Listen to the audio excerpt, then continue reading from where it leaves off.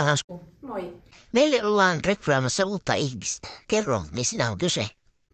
No, tämä on meillekin semmoinen uusi avaus, eli Interreg Baltic Sea Region rahoitteinen projekti, joka toteutetaan yhdessä 14 partnerin kahdeksasta eri maasta kanssa. Ja siinä on kyse mm, eteläpohjalaisen yrityspalveluverkoston toiminnan ja laadun kehittämisestä ja tietysti sitten myös yritysten liiketoiminnan kasvun tukemisesta ja digitaalisten taitojen parantamisesta.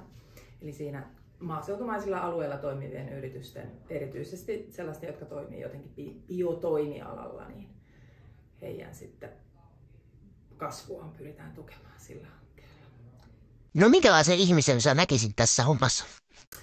No, tietysti plussaa on, jos olisi kokemusta interreg hankkeista, koska se on meillekin aika uusi asia. Ja sitten semmoinen oma-aloitteinen intoa kansainvälisessä tiimissä työskentelyyn, koska se, tässä on kyse kuitenkin tämmöistä rajat ylittävästä yhteistyöhankkeesta. Ja, ja sitten semmoinen aktiivinen ja hyvin omatoiminen ote tekemiseen. Vaikkakin sitä työtä yhdessä meidän intolaisten kanssa tehdään ja toki tämän kansainvälisen tiimin kanssa, mutta hyvin sellaista itseohjautuvaa otetta. Ja kokemus tietysti projektimaailmasta ja hankemaailmasta on aina eduksi. Ja sitten tämä tämmöisen niin kuin liiketoiminnan vihreän siirtymän ja digitalisaation ymmärrys on tietysti plussa.